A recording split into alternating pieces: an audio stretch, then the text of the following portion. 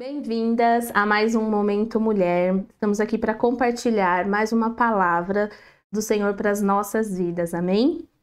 Eu queria começar esse Momento Mulher fazendo uma pergunta para que você venha refletir neste dia como tem sido a sua caminhada. Você tem conseguido ser forte o tempo todo? Responde para você mesmo. Eu tenho me feito essa pergunta por várias vezes, por vários dias. Se eu tenho sido forte o suficiente, se eu tenho sido forte o tempo todo. E muitas vezes eu não tenho encontrado respostas assim de imediato. E é por isso que eu trouxe essa palavra hoje para compartilhar algo que o Senhor vem falando ao meu coração. Seja forte e corajosa. Você já falou isso para alguém algum dia? Talvez você já ouviu essa frase de alguém algum dia. E quando a gente escuta uma pessoa falar, você tem que ser forte, você tem que ser corajoso, você tem que ser corajosa. Às vezes a gente não imagina a dimensão que esta mulher, esta pessoa está vivendo. E é por isso que eu quero compartilhar essa palavra de Josué 1:9, que nos ensina exatamente sobre isso. Josué ele estava em busca da terra prometida e ele teve essa conquista na vida dele. Só que nós mulheres, muitas vezes nós não conseguimos ser fortes e corajosas o suficiente para vencer o dia a dia, para vencer os leões, né, os gigantes da nossa caminhada. Então eu quero ler com você no livro de Josué 1:9. A palavra do Senhor diz assim: Não fui eu que lhe ordenei, seja forte e corajoso, não se apavore, nem desanime, pois o Senhor, o seu Deus, estará com você por onde você andar. Eu fiz algumas anotações aqui, mas hoje eu quero falar com você, mulher, que é forte, você, mulher, que é corajosa, você, mulher que luta pelos seus objetivos, pela sua casa, pela sua família. Você, mulher que trabalha fora. Ou talvez você, mulher que cuida da sua casa, do seu lar, dos teus filhos, que administra o seu lar. Mas acima de tudo, eu quero falar com você, mulher real. Nós temos dois tipos aqui de mulheres: a mulher ideal, aquilo que a gente idealiza em ser, idealiza uma mulher e nós temos a mulher real. Qual dessas você tem sido esses dias? Eu confesso para você que muitas vezes eu tentei ser uma mulher ideal, ser a melhor esposa, ser a melhor filha, ser a melhor mãe, estar sempre no meu melhor. E nem sempre foi assim. E tá tudo bem com isso, porque nós não somos heroínas, nós não somos mulheres maravilhas e nós também não estamos fortes o tempo todo. Nós choramos, nós nos prostramos, nós cansamos, né? Nós sentimos dificuldades na nossa caminhada, no nosso dia a dia, e tá tudo bem, porque essa é a mulher real. Eu queria ler com vocês, antes do versículo é, 9, o versículo 8, ele fala assim: não deixe de falar a palavra deste livro da lei e de meditar nelas de dia e de noite, para que você cumpra fielmente tudo que nele está escrito.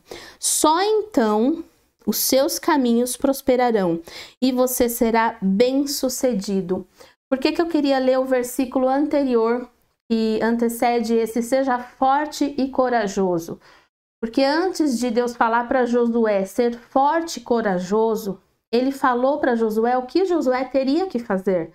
Ele falou: antes de tudo, não deixe de falar a palavra do Senhor, não deixe de proferir a palavra do Senhor. E como é que eu vou falar da palavra do Senhor se eu não conheço a palavra do Senhor? Se eu não abro a palavra do Senhor? Se eu não busco a palavra do Senhor, eu consigo falar de algo que eu conheço, de algo que eu tenho proximidade, intimidade.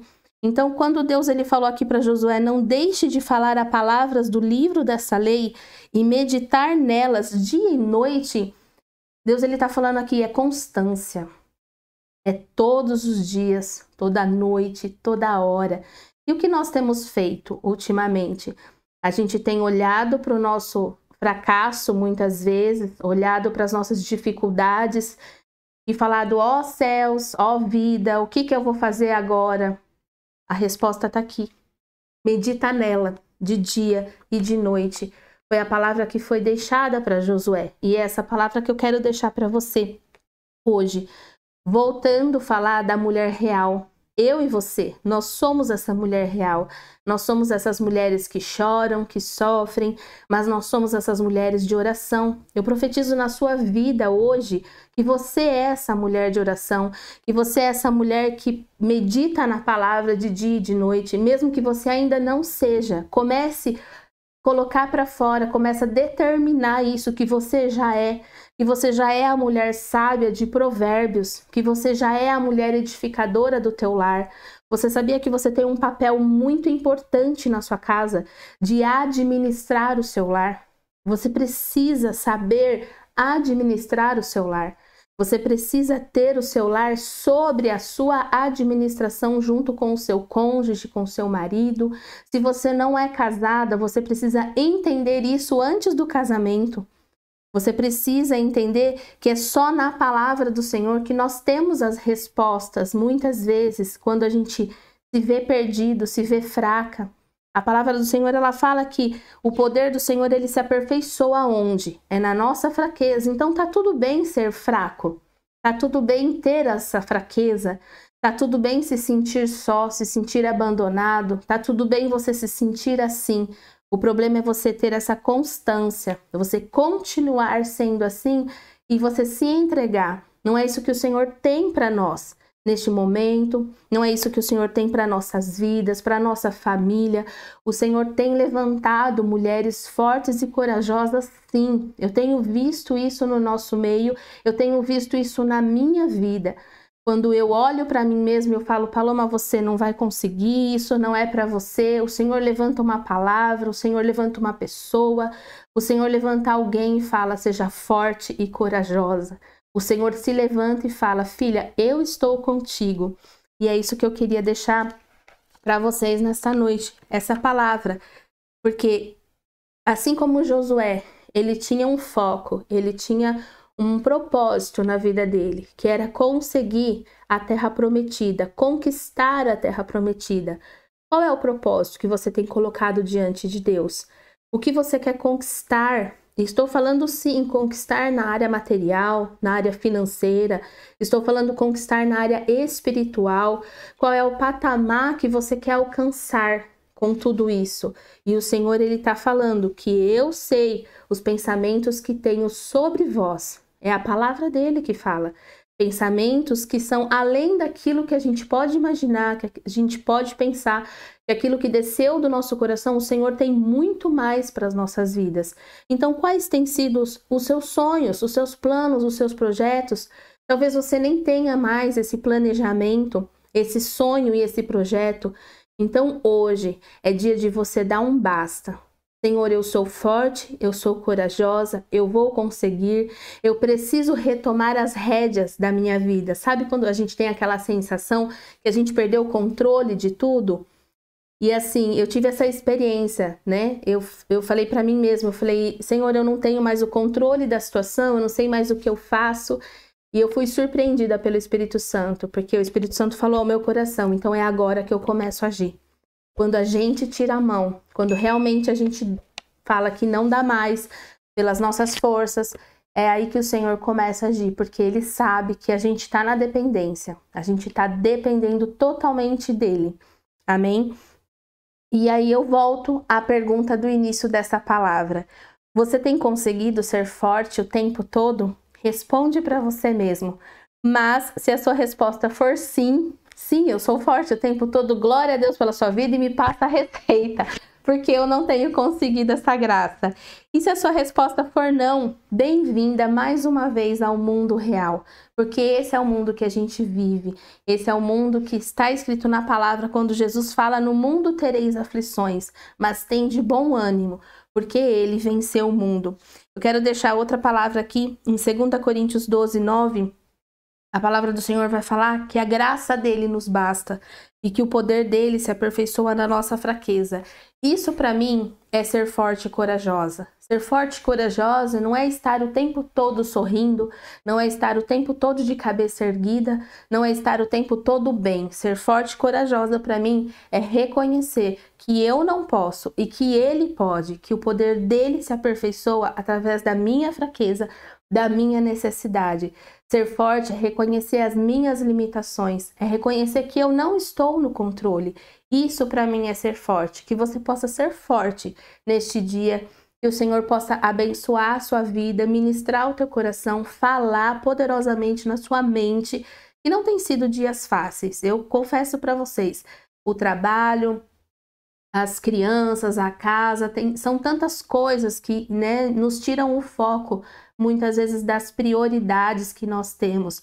E nossa prioridade maior, ela tem que ser a presença do Senhor na nossa vida. Eu imagino o nosso coração como um copo de água. Se o nosso coração estiver totalmente cheio com a presença do Espírito Santo, nós não vamos ter espaço para que outras coisas, para que rumores, problemas, dificuldades venham falar mais alto aos nossos ouvidos. Mas para isso, nós precisamos estar cheios do Senhor. E como é que eu faço, Paloma, para estar cheio do Senhor? É a busca da palavra.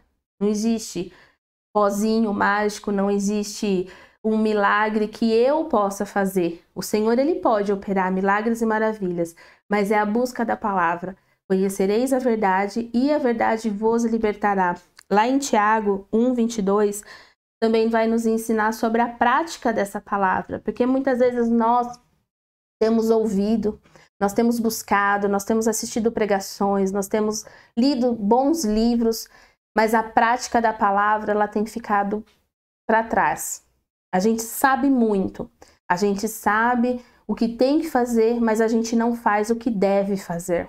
Eu confesso que se a gente fizesse metade daquilo que a gente sabe, as nossas vidas, o nosso lar, a nossa casa seria diferente, esse mundo seria diferente. Então, assim como o Tiago 1,22 nos ensina, para que nós não sejamos somente ouvintes da palavra, mas sim praticantes, que você possa tomar essa decisão hoje. Amém? Então eu marquei aqui alguns tópicos importantes, né, sobre esta palavra de ser forte, ser corajosa, ser uma mulher real, não ser uma mulher ideal, porque é o que o mundo hoje, né, prega para nós que nós temos que ser ideal, nós temos que ser alta, lindas, maravilhosas, que tem que ter tantas curtidas, tanto compartilhamento, tantos seguidores.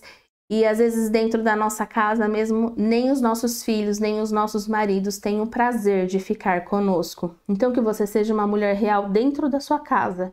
Que o Espírito Santo possa ter um encontro com você e a transformação comece em você e depois através de você. Então fale da palavra de Deus, medite na palavra de Deus, cumpra a palavra de Deus, seja cheia da palavra de Deus. Não dê espaço para os pensamentos ruins. Lembra do exemplo do copo? Se você está cheia do Espírito Santo, você não vai ter espaço para rumores, para palavras negativas na sua vida, mas se você estiver como esse copo pela metade, você vai dar vazão para que algo entre e suje essa água, suje o Espírito Santo no teu coração. E somente assim depois você vai conseguir ser próspera e colher os frutos que você mesmo plantou, porque a nossa vida, o nosso coração, ele é como uma, uma terra, né? E o Senhor ele vai jogando as sementes e o Espírito Santo ele vai dando crescimento, mas depende de nós.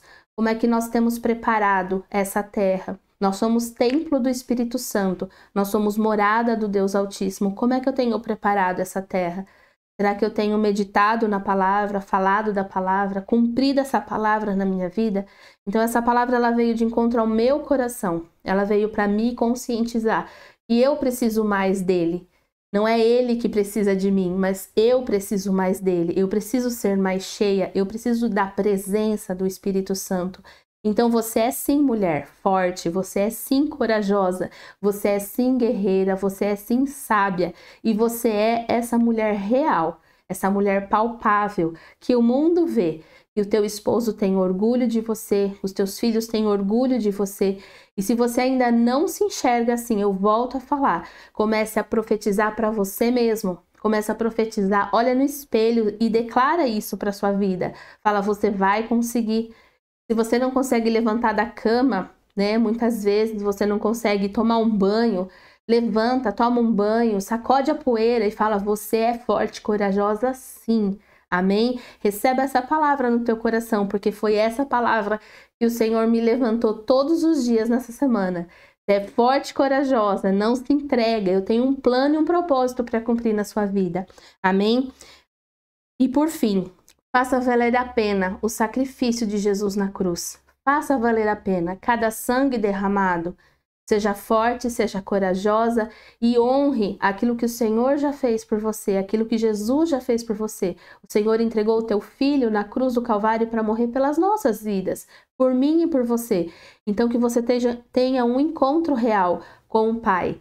Chama ele para perto. Fala, Senhor, de mim eu não tenho nada, mas do Senhor eu posso todas as coisas. Amém? Se essa palavra falou com você neste momento, mulher, que você possa curtir esse vídeo, que você possa compartilhar essa palavra com alguma mulher que esteja passando talvez por uma fase difícil, seja ela qual for, seja ela no trabalho, seja ela com filhos, né? Seja ela espiritual, se sentindo fraca, mas que você possa ser um canal de bênção usado na vida dessa pessoa, compartilhando esse vídeo, mandando para ela essa palavra e determinando na vida dela que ela pode ser forte e que ela é forte, que ela pode ser corajosa e que ela é corajosa. Amém? Eu sempre falo que é primeiro em nós, para depois ser através de nós.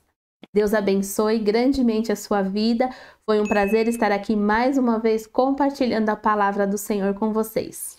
Beijos!